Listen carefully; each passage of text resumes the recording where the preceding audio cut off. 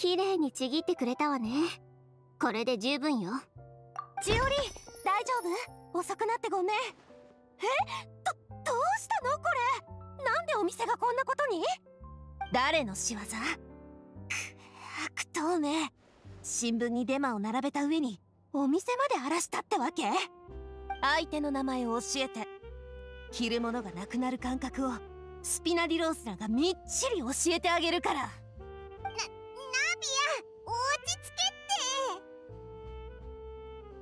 うん。え？一体何の茶番劇よ？生地とアクセサリーを再利用するために旅人たちに服をちぎってもらったの。え？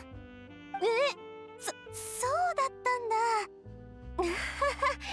ちょっと興奮してたみたい。さっきのは聞かなかったことにして。ナビアも怒ったらすごく怖いんだな。身近な人が濡れ衣を着せられることに私ほど反感を覚える人なんていないでしょ？ましてや人にはめられたならなおさらよ。二人って仲がいいんだな。もちろん。チオリアの服は本当に素敵だしスピナディロースラの礼服もほとんどチオリに作ってもらってるの。制服も頼んでくれたらいいのに。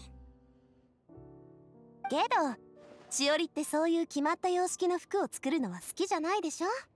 だから面倒をかけないようあえて頼んでないのよ。しおりの情報のおかげで助かったことが何度もあるの。スピナディロースラにとってここは服屋というより情報屋みたいな存在ね。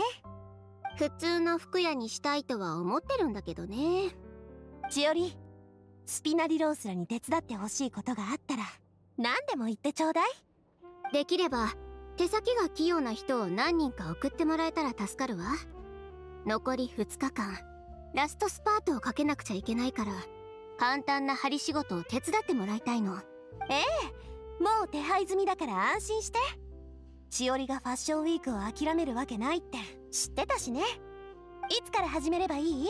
私も手伝うから。うんうん。ナビアには他に頼みたいことがあるの。仰せのままにそれから旅人にパイモンリネとリネットに伝言を頼んでもいい？彼らの手も借りたいの。取材は終わったわよ。しおりさんは帰ってきたかしらってええー、な何があったの？誰の仕業？名前教えて。明日の新聞に大々的に載せるから。またなの？